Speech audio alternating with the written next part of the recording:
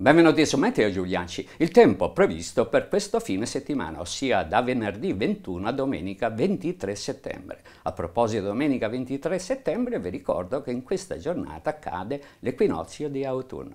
Bene, Cosa, come sarà questo tempo nel fine settimana? Sarà ancora purtroppo sotto leggi del dominio dell'anticiclone nordafricano che ci sta perseguitando dall'inizio del mese. Solo tra giovedì e venerdì le regioni del Basso Tirreno e soprattutto le isole maggiori saranno sotto l'influenza di un vortice di bassa pressione giunto dal Marocco che martedì ha raggiunto la Sardegna e che ancora sta razzolando, diciamo, in prossimità delle isole maggiori. Ecco allora il tempo previsto, venerdì appunto appunto rovesci e temporali sulle isole maggiori anche di forte intensità, le tre gocce stanno a indicare che saranno di forte intensità, sabato bel tempo ovunque con l'anticiclone nordafricano, a parte dei rovesci temporali nel Triveneto perché passa una perturbazione in arrivo dalla Germania diretta verso i Balcani, bel tempo ovviamente sul resto dell'Italia, domenica bel tempo ovunque. Per quanto riguarda le temperature, ovviamente eh, sapete come va a finire con l'anticiclone nordafricano, africano